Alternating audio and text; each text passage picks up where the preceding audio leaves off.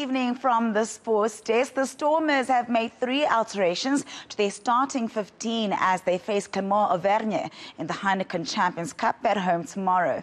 They include a revamped halfback pairing as Stefan Unger and Kade Wolhuter are drafted in. The Cape side need a point to advance to the playoff stage of the competition.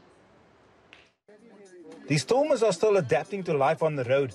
Competing in the United Rugby Championship as well as the Champions Cup has taken some getting used to. Spirits are high in the camp ahead of their next match. It's so exciting to have a.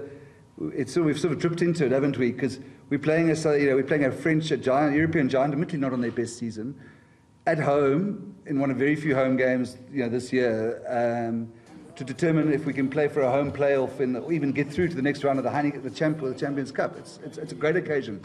Um, you know, we, there's so much on the play for us. You know, if we get four or five points, we could be hosting a last 16 and potentially a quarterfinal. So it's, I think it's a great occasion. I just want the message to get out there. This is another level.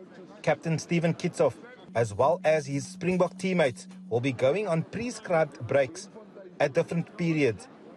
This ahead of the Rugby World Cup in France later this year.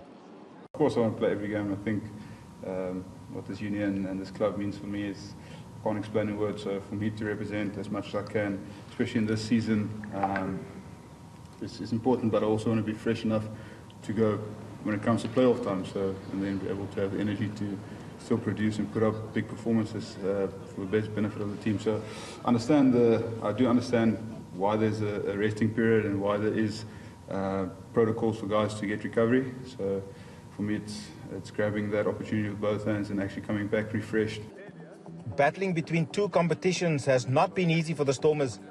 They have seen growth in their players and also built depth in their squad. Justin Ford, Cape Town.